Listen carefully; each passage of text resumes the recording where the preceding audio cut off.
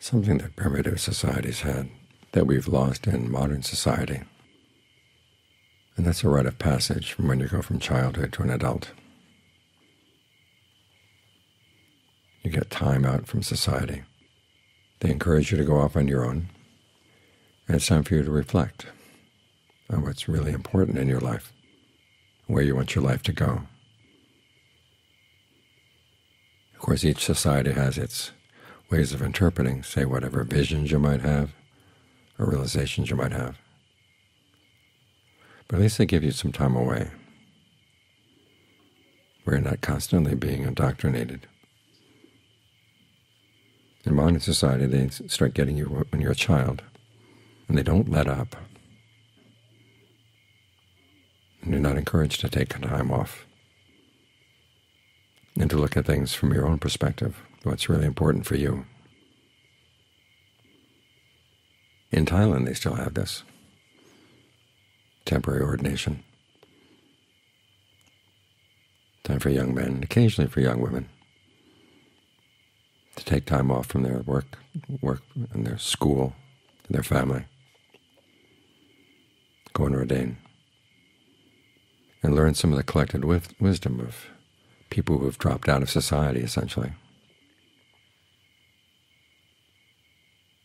And see what perspective it gives them on their lives. Some of them end up staying as monks, even though they intended to ordain only for a couple months. They stay on. Others go back. And some totally forget what they learned. But some keep a foot in both worlds. And those are the ones who seem, always seem to me to be the most sane of the lay people. They can step in and out of their lay roles step in and out of the world outside, and not allow their minds to be totally consumed by the values of society.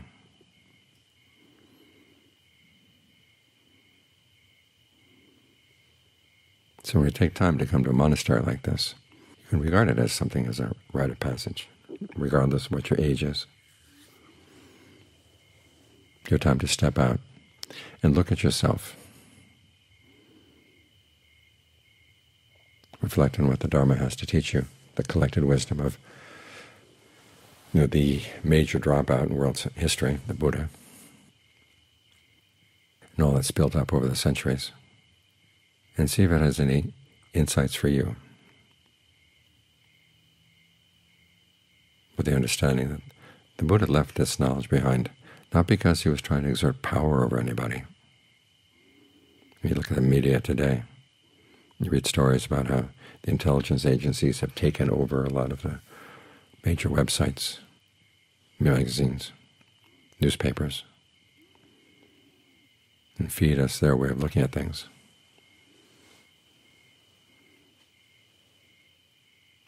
for their purposes.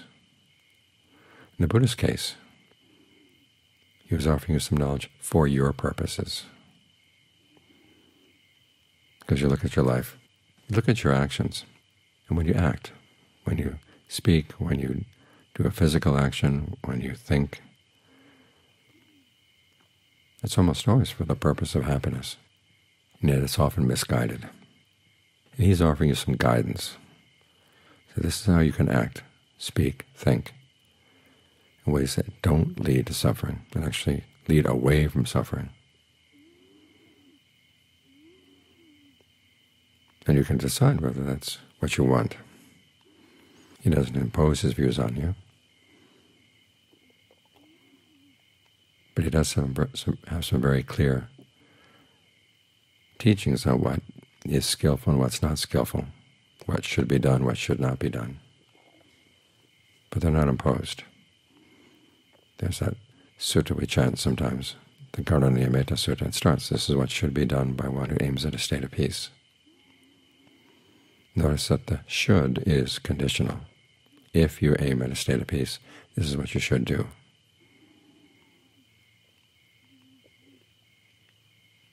So the Buddha is very clear about what should and should be done if you want to find peace, if you want to find well-being inside. But that's your choice.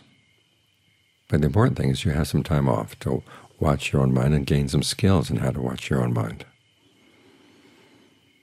Because the mind does have this tendency to create worlds for itself. And once it's inside a particular thought world, its sense of what's right and what's wrong, it's really colored by that world. So you have to be careful about how you create worlds inside. Otherwise it's like floating off in a bubble. Sometimes the bubble is red, sometimes it's green, sometimes it's blue. And if you're in the bubble, everything is red, green, or blue, regardless of what it actually is outside. So one of the important skills here is learning how to step out of your thought worlds. This is why the Buddha's instructions for mindfulness are being with the body in and of itself. In other words, your sensation of the body right here, right now. Putting aside greed and distress with reference to the world, any thought world.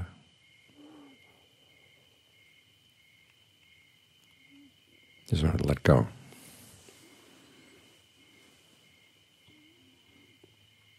You develop qualities of mindfulness, ardency, alertness.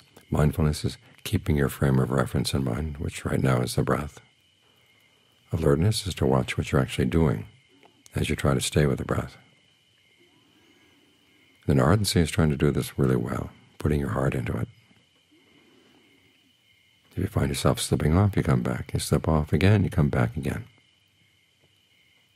When you're with the breath, you try to make it as comfortable as you can. You're not just here, here just to accept whatever comes up. You are directing it in a way that creates a state of mind where you can observe yourself really clearly. That requires a sense of well-being, because you're not going to stay in the present moment if it doesn't feel good being here. So the sense of ease, sense of well-being that you try to create, there's a purpose in that.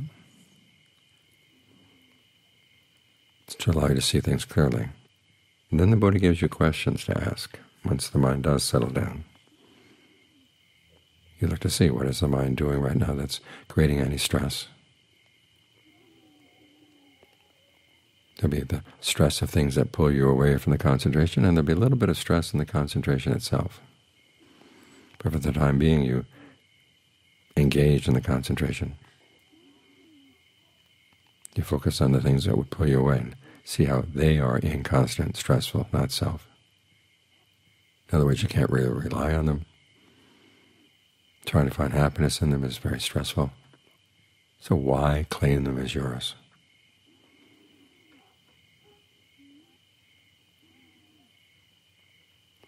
So what we're doing is putting the mind in a position where it can observe itself clearly, with objectivity, and without a lot of hunger. Because when you're hungry for pleasure, when you're hungry for pleasure, you're going to go for things that may not be in your best interest and you end up not really seeing things clearly. It's like having scientists work on a project where they're feeding bananas to baboons. But the scientists are hungry, so they end up eating all the bananas. They're never going to really find out about the baboons, aside from seeing how baboons are like when they're hungry.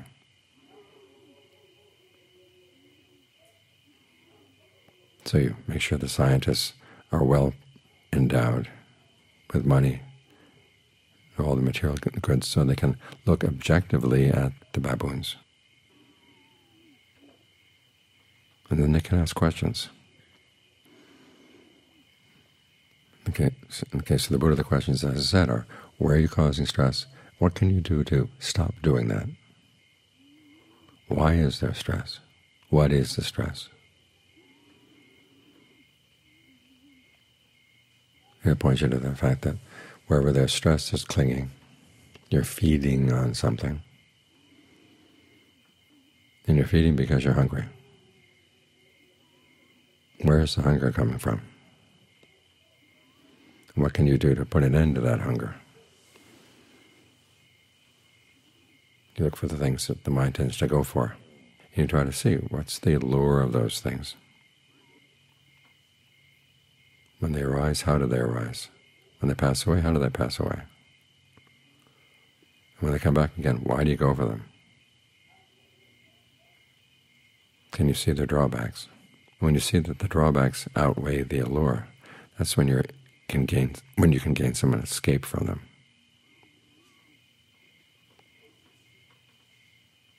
So the purpose of this rite of passage here is to free you from all the misunderstandings and unskillful habits you have in your mind. And it's to train you in the qualities of mind that you need in order to observe yourself well. So even if you don't agree with the Buddha's analysis, still you've learned a lot of useful qualities for observing yourself. Because if you can't observe yourself, you end up doing a lot of unskillful things. And you have no possibility of undoing those bad habits. And if you're more mindful, alert, ardent, more concentrated, more discerning, you're in a much better position to judge what's going on in your mind to whether it's something you want to follow through with or something you want to drop. That these are questions or these are ways of looking at things that are for your own purpose. Society outside has other purposes for us.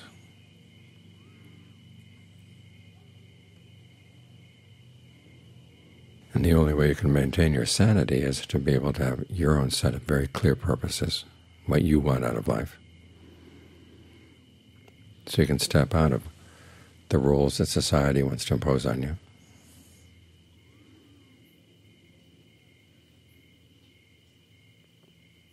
Maintain at least some independence inside.